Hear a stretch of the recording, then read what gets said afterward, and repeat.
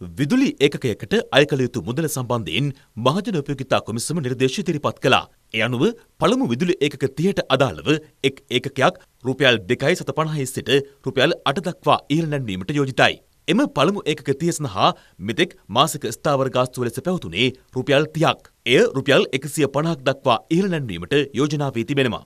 විදුලි ඒකක 31ත් 60ක් දක්වා වූ බිල්පතක විදුලි ඒකකයක් වෙනුවෙන් මෙතෙක් අය කෙරුණේ රුපියල් හතරයි ශත අසූපාක ගාස්තුවක්. එය රුපියල් දහයක් ලෙස ඊර නැන්වීමට යෝජිත අතර එම බිල්පත වෙනුවෙන් මෙතෙක් පැවති ස්ථාවර ගාස්තුව රුපියල් හැටේ සිට රුපියල් තුන්සිය දක්වා ඊර නැන්වීමට යෝජනා කර තිබෙනවා.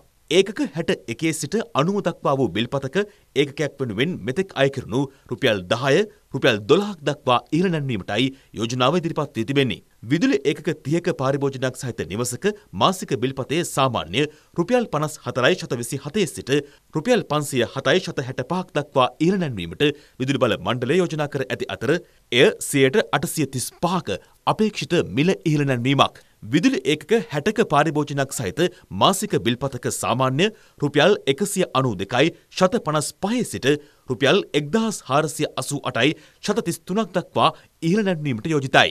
එය සයට හයිසිය හැත්තෑ තුනක මිල ඉහළ නැන්වීමක්. ගෘහස්ත සමස්ත විදුලි ගාස්තුව සයට එකසිය තිස් අටකින් ඉහළ නැන්වීමට ලංකා විදුලි බල මණ්ඩලය මාජන උපයෝගිතා කොමිෂන් සභාවෙන් අවසර ඉල්ලා තිබෙනවා. මේ අතර මෙම යෝජනා සහ නිර්දේශ සම්බන්ධයෙන් අද සිට ඉදිරි සති තුන තුළ මාජන අදහස් ලබාගන්නා බවයි මාජන උපයෝගිතා කොමිසම පවසන්නේ.